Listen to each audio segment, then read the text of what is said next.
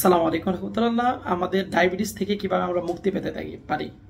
দেখেন, ডায়াবেটিসের যে সমস্যাটা, এটা অনেক মেজর একটা সমস্যা। আমরা অনেকে মনে করি যে ডায়াবেটিস সম্পূর্ণরূপে ভালো হয়ে যাচ্ছে। অনেক বিজ্ঞাপন দেখি, বিভিন্ন বিজ্ঞাপন আমাদের আশেপাশে অভাব নাই যে ওষুধটা খেলে স্থায়ীভাবে ডায়াবেটিসের সমস্যা ঠিক হয়ে যাবে। আসলে কি ডায়াবেটিস স্থায়ীভাবে ঠিক হয়ে যায়? কখনো কি সম্ভব? এটা কখন সম্ভব? কিছু কিছু রুগীদের ক্ষেত্রে হয়তো কিছু ক্ষেত্রে সম্ভব হয়ে থাকে, কিন্তু মেজর রুগীদের ক্ষেত্রে ডায়াবেটিস কখনো নিরাময় হওয়া সম্ভব নয়। কিছু কিছু পরিবর্তন হতে পারে। তাও সেটা কোনো ব্যক্তির ক্যাশমাটিক কৌশল না। এটা মূলত সে কিছু প্রসিডিওরের কারণে ডায়াবেটিস নিয়ন্ত্রণ থাকে, কিন্তু একশো পার্সেন্ট স্থায়ীভাবে ডায়াবেটিস নিরাময় এটা অসম্ভব বিষয়ই বললে চলে। তো আজকে সে বিষয়টা নিয়ে জানব ডায়াবেটিস কীভাবে আমরা নিয়ন্ত্রণ করতে পারি। তো ডায়াবেটিস তিন ধরনের ডায়াবেটিসের সমস্যা হয়ে থাকে। প্রথমে হচ্ছে একটা মেজর ডিজিজ হয়ে থাকে, সেটি হচ্ছে অগ্নাশয়ের মধ্যে বিটা সেল বিটা সেল যদি বন্ধ হয়ে যায়, অর্থাৎ আমাদের পাকস্থলীয় অগ্নাশয়ের মধ্যে যদি বিটা সেল বন্ধ হয়ে যায়, সেখান থেকে ইনসুলিন নিঃসরণ যদি কারণ বন্ধ হয়ে যায়, অর্থাৎ দেহের অভ্যন্তরীণ থেকে ইনসুলিন নিঃসরণ যদি কারণ বন্ধ হয়ে যায়, তাহলে তার ক্ষেত্রে মৃত্যুর আগ পর্যন্ত তাকে ইনসুলিন দিতে হবে এবং অধিকাংশ ইনসুলিনের রুগী এরকম যে তাদের অগ্নাশয়ের বিটা সেলটা টোটালি কাজ করা বন্ধ করে দিচ্ছে যার কারণে তার প্রতিনিয়ত ইনসুলিন দেওয়া লাগতেছে। এবং অবশ্যই তাকে মৃত্যুর আগ পর্যন্ত ইনসুলিন দিয়ে যেতে হবে, তা না হলে তার ডায়াবেটিস কখনোই নিয়ন্ত্রণে আসবে না। দ্বিতীয় যেই টাইপটা সেটা হচ্ছে জেনেটিক বা বংশগত ডায়াবেটিসের রোগী। যে আপনার প্রিভিয়াস পরিবারের সব অনেকেরই ডায়াবেটিসের সমস্যায় ছিল এবং অনেকেই ডায়াবেটিসের সমস্যায় প্রতিনিয়ত পার করতেছে। সেক্ষেত্রে বংশগতভাবে আপনারও ডায়াবেটিসের সমস্যা হয়েছে। এই ধরনের ডায়াবেটিসের রোগীদেরও কিন্তু কোনো চিকিৎসা নেই। এটা স্বাভাবিক অবস্থায় ডায়াবেটিস নিয়ন্ত্রণ করে যাবে। স্থায়ী কোনো চিকিৎসা নেই। কারণ এই ধরনের জেনেটিক রোগ যে, যত ধরনের জেনেটিক রোগী আছে না কেন, এগুলোর কোনো স্থায়ী চিকিৎসা নেই। কারণ এটা জেনেটিক্যালি আপনি বংশগতভাবে পেয়েছেন। সেটা আপনার বাবার বাড়ির বংশ থেকে পেতে পারেন, আপনার নানার বাড়ির বংশধর থেকে পেতে পারেন। আমাদের একটা ভুল কনসেপশন বা ভুল ধারণা, সেটা হচ্ছে আমরা মনে করি যে আমাদের বাবার বাড়ির বংশধরের রোগী আমাদের রোগ।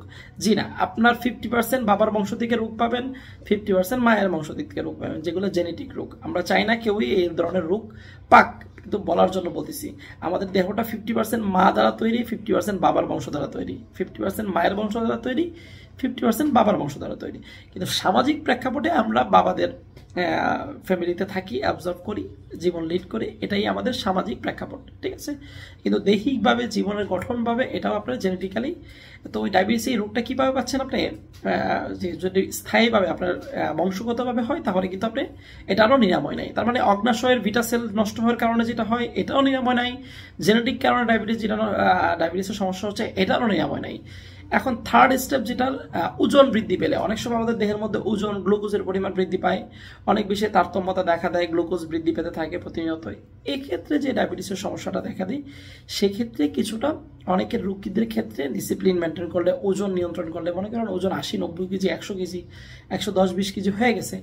এই ধরনের রোগীদের ক্ষেত্রে কিন্তু আপনার যে সমস্যাটা দেখা দেয় সেটা হচ্ছে ডায়াবেটিসের নিয়ন্ত্রণ সম্ভব হয় অনেক ক্ষেত্রে। সো অনিয়মিত চলাফেরা নিয়ম শৃঙ্খলা ডিসিপ্লিন মেনটেন করলে তার ডায়াবেটিসটা একদম নিয়ন্ত্রণ হয়ে যায়, তার কখনো ডায়াবেটিস হয় না।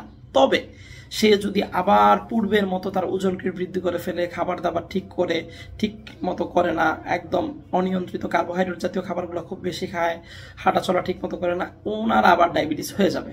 সুতরাং এই যার ভালো হয়েছে তার কিন্তু ঠিক মতো ডিসিপ্লিন মেনটেন করে না চলার কারণে ওনার আবার ডায়াবেটিসের সমস্যা সৃষ্টি হয়ে যাচ্ছে। সুতরাং বিষয়টা খুব ক্লিয়ারভাবে বুঝতে হবে যে ডায়াবেটিসের স্থায়ী সমস্যা কাদের ক্ষেত্রে কিছুটা নিরাময় সম্ভব তাও সম্পূর্ণরূপে সবার ক্ষেত্রে সম্ভব হয় না। কিছু কিছু রোগীদের ক্ষেত্রে সেটা সম্ভব হয়। এবং বিশেষভাবে আরেকটা বিষয় খেয়াল রাখতে হবে গর্ভ অবস্থায় ক্ষেত্রে অনেক সময় যে ডায়াবেটিসের সমস্যাটা দেখা দেয় গর্ভকালীন মা বোনদের ক্ষেত্রে ডায়াবেটিসের রোগীটা দেখা দেয়, সেটা গর্ভপাতের পরে অনেক আশি পার্সেন্ট কেসই ডায়াবেটিস স্থায়ীভাবে ভালো হয়ে যায়। অনেকের ক্ষেত্রে ওষুধের সাইড এফেক্টের কারণে ডায়াবেটিস দেখা দেয়। তখন আপনার ওষুধের কোর্স কমপ্লিট করবেন, আল্লাহর রহমতে আপনার ডায়াবেটিসের সমস্যাও ঠিক হয়ে যাবে। তো ডায়াবেটিস নিয়ন্ত্রণের ক্ষেত্রে আমাদের খাবার দাবার ডিসিপ্লিন এগুলো খুব ভালোভাবে মেনে চলতে হবে। তাহলে আমাদের পক্ষে কেবল সম্ভব এবং আমরা ডায়াবেটিসকে নিয়ন্ত্রণ করতে পারব এবং প্রচুর পরিমাণ খেয়াল রাখতে হবে যে ক্যালোরি সমৃদ্ধ খাবার গ্রহণ করতে হবে এবং কার্বোহাইড্রেট জাতীয় খাবার কম গ্রহণ করতে হবে। হাঁটা চলার অভ্যাস থাকতে হবে। আল্লাহ তালা আমাদের সকলকে ভালো রাখুক, সুস্থ রাখুক। আসসালামু আলাইকুম।